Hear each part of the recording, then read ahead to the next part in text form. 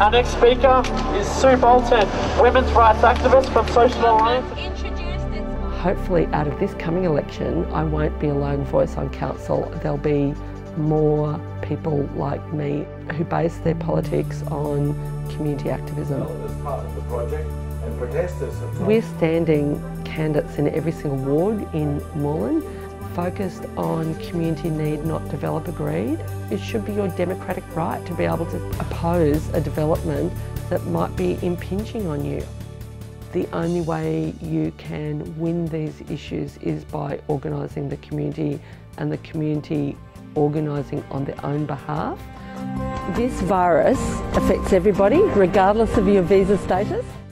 I keep going and I would be doing this even if I wasn't a councillor. I'd be involved in all of these campaigns and issues even if I wasn't a councillor because there are a massive number of injustices that need to be changed and we've got a climate emergency and we need to have a system which is socially just and where people have rights and people have a democratic say. As a uni student, I got involved in the campaign against uranium mining in Queensland and the area I grew up, the entire Aboriginal community had been removed. In 1982 there were also two big events that shaped um, my politics as well. I worked in a factory and then I lost that job and got a job as a bus driver in Brisbane. There was a big industrial dispute and there's something magic when you see workers taking action for the first time in their lives.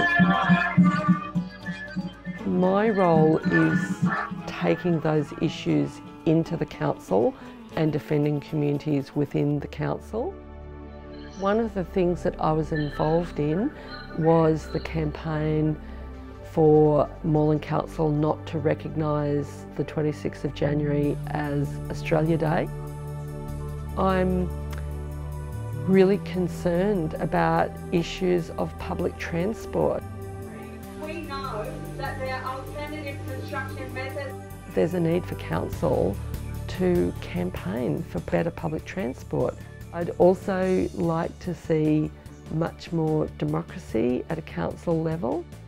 And what would be really great is if we could get more than one of us elected so that we can have a council which is strong on climate issues, that's strong on democratic rights and residents' rights, that's strong on standing up to greedy developers, that's strong on social justice and looking after people who you know, don't have a lot of money.